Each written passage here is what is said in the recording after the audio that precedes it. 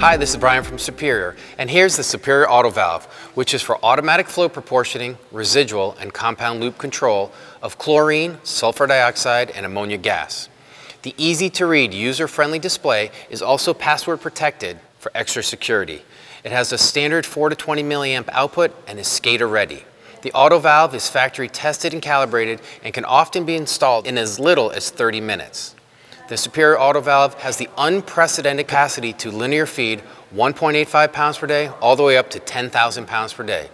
It comes standard with a high torque stepper motor and 100% chlorine resistant titanium parts.